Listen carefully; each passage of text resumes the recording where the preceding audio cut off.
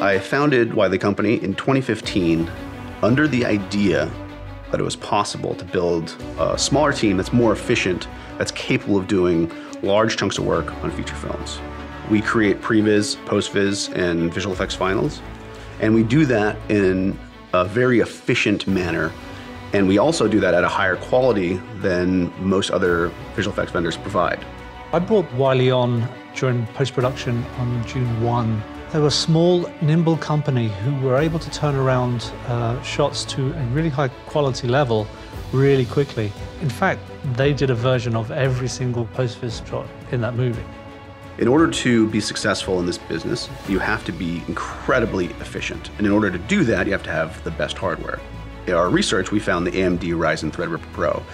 It had an immense number of cores and just an unfathomable amount of bandwidth. And that's what we needed. We needed to turn around hundreds and hundreds of post-vis shots and hundreds and hundreds of final shots.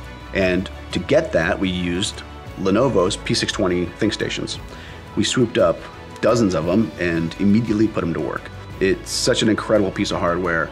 It's enabled us to turn around incredible amounts of iterations and be incredibly efficient with our team. It allows them to iterate over and over again and render in the background while they are iterating.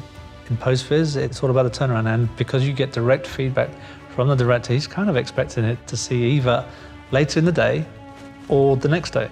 So one of the sequences we were tasked with in Dune was the Hunter Seeker sequence. Timothée Chalamet had to basically interact with a hologram. It's actually quite a difficult thing to achieve. We had modeled the holographic bush in 3D and had sliced it up into multiple slices so that as he moved forwards or backwards, a different slice would actually be projected onto him. What it gave us was like all this beautiful light on Timothée's body. And the guys and girls at Wylie then had to meticulously line up where the bush was in front and behind.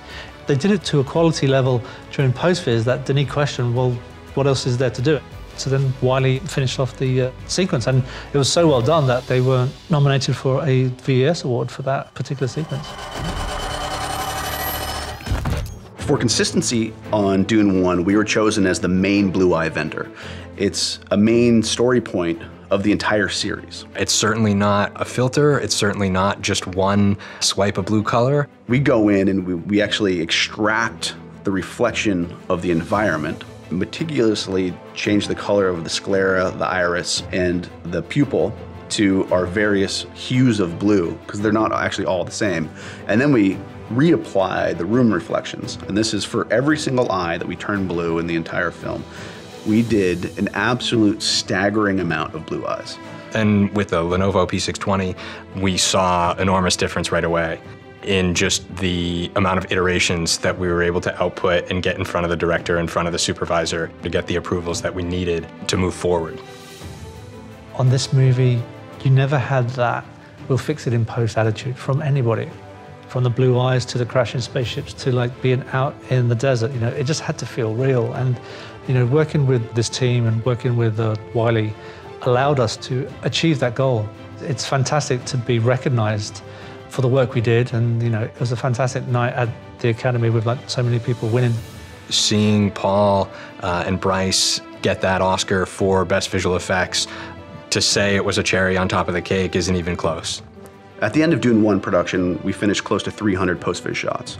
We took on an additional 900 or so finals. Denis even said it was the best post experience he's had on the movie. And I was so happy with the way everything worked out that I joined Wylie Co.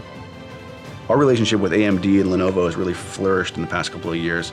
They just get visual effects. Machine learning and AI will drive the future of visual effects, and that stuff has to be run on bleeding edge tech and Lenovo and AMD can supply that.